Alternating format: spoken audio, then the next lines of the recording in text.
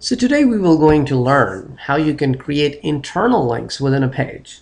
So I created a page called names.htm beforehand and I've created a link in all of my pages so that everything is linked back to names.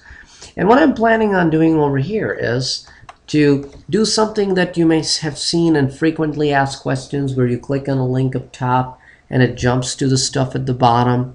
So what I would like to do over here, just create a little bit uh, of a similar pattern here. So I'm going to introduce something by names. And I would like to create a navigation of letters. So I'll just do for like three letters. And I'll make a couple of the letters links and I'm going to leave one of them as not a link. So we will be able to click on a particular letter and it's going to take us to the list of the names that fall in that category. So to start, we would like to start with the first category, H3, um, with letter A. And we're going to put some names in the letter A category.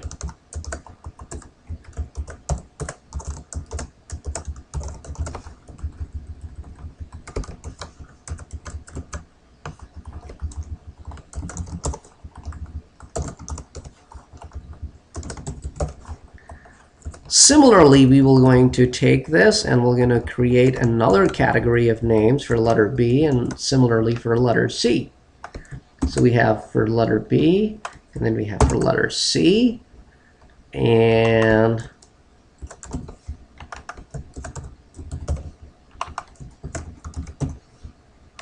for letter C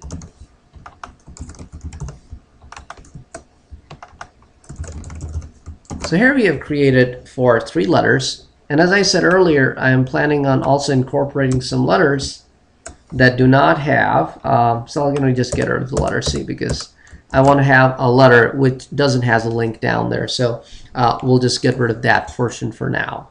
So anyway, we're going to now start producing a link here. So we're going to put a link with A.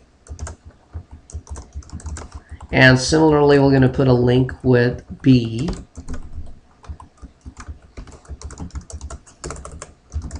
And we're going to leave C as it is, untouched. So now what I want to do is, I would like to click on A and I would like to jump to the names that start with letter A. And similarly, I want to click on B and jump to the names start with letter B. In order to do so, we take help from a property in HTML called ID, which is used to name sections of a page. So I would like to come down here in the A section, and I'd like to give it an ID A. I'd like to come down in the B section, I'd like to give it an ID called B. So I have basically put IDs in each one of the areas. Where C section doesn't really exist, it's not a link. Similarly, I'm going to come down over here, come up over here, and I'm going to link it to the region A. So whenever you're linking to a region, you must use a pound sign. Similarly, I'm going to link this to the region B.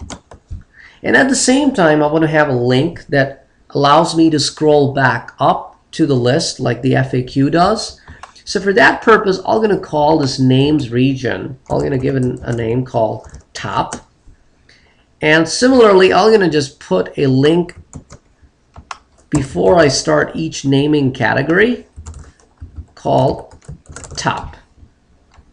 So that will allow me to move and jump to the top of the page. Now having said that, now I would like to run this page, but since I have a green color for my links in the body, the same green color will now going to apply over here. But I would also like to give colors to my square brackets which will going to appear in, in black color or the letter C or the, or the pipes if I do not give them a color. So I'm going to use CSS style property to give the color green to these links as well. Okay, so now let's run it in a browser. So now when I'm running in a browser, this is where my page looks like. Notice Letters A and B are underlined because they're links. Letter C is not underlined because it's not a link. So if I click on letter A, notice that it takes me to all the letters that belong to A. So if I click top, it just jumps a little bit, as you can see. Let me reduce the size of the screen a little bit more so you could see the actual um, working of this code. So if I click on B, notice how it jumps, and I'm in the letter B. If I click on top, it would jump to names again. If I click on A, now A comes right up top. But if I click on top, now the, the names heading comes up top. So it allows me to jump back and forth within a page. So hope you would have learned how to create internal links here and you can just take it to as far as you want to take it. Well, hope to see you in another tutorial. Thank you for watching.